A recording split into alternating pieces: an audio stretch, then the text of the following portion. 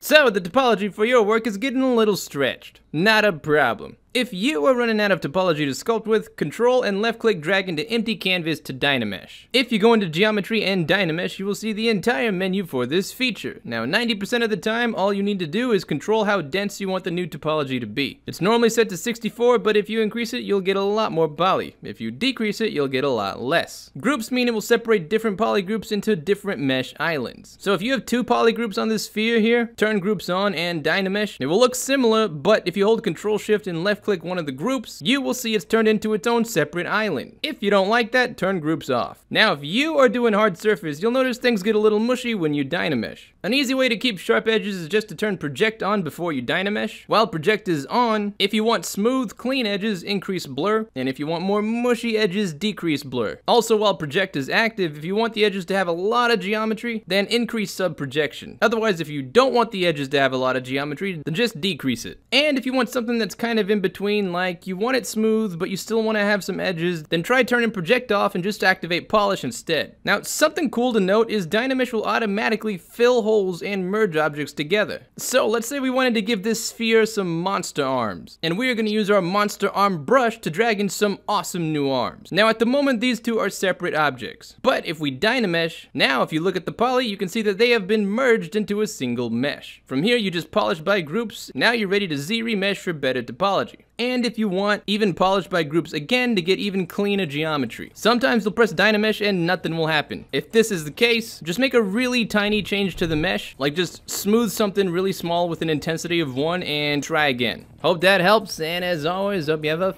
fantastic day, and I'll see you around.